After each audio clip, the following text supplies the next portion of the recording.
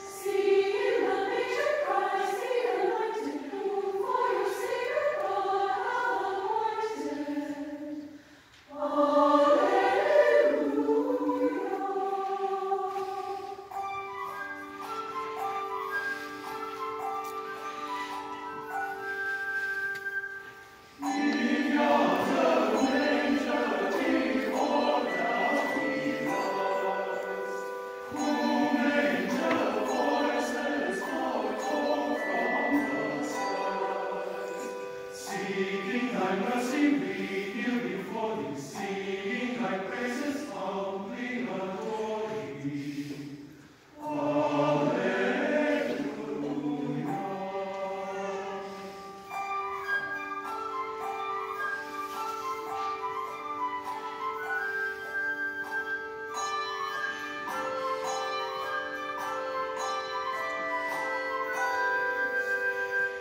Alleluia.